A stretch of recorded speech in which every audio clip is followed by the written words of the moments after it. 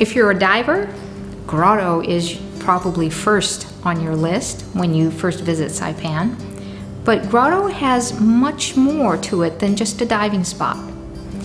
It is or was home to the ancient Chamorro. When you arrive at Grotto, you'll see latte stones, but they're made of concrete.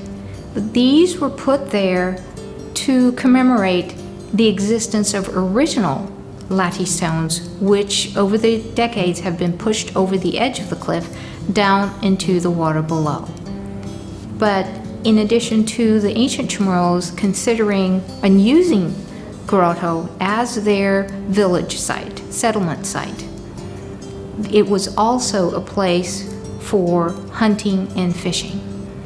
But today's recreational group see it as uh, a place for uh, deep diving or snorkeling or just hanging out and watching the tourists come into and out of the grotto area. When you're here at Grotto, it is about, we have about 120 steps down onto the water level, and those of you that have breathing problems, you might rethink going down and then coming back up.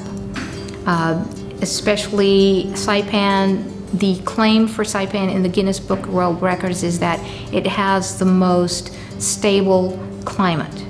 We are looking at approximately 85, 84 to 85 degrees Fahrenheit year round, and the humidity level is high. So if you do have some health problems, please consider the climate and also the site where you are. There is a lovely platform on top and you can see down onto the water level and you see divers coming into and out of the water. Also, this area, you'll see some birds flying about, not as numerous as Bird Island, but you can take in quite a bit of the landscape.